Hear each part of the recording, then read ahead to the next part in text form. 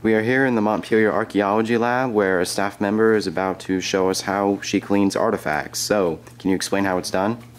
Um, for artifacts like ceramics and glass, we just put them into some water and we'll scrub them clean with a toothbrush.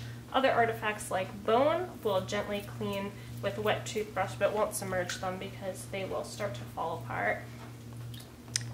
So, I heard that you don't wash iron artifacts. Why is that? Um, the water will make iron continue to corrode, so we'll just clean those off with a dry metal brush and take off the layer of dirt so we can identify them.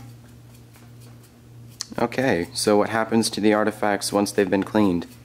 They're cleaned, we'll set them in the drying rack for a couple of days to ensure that they're dry, and then they'll be cataloged by our staff members so they're identified and recorded for our future research in our database. Alright, thank you.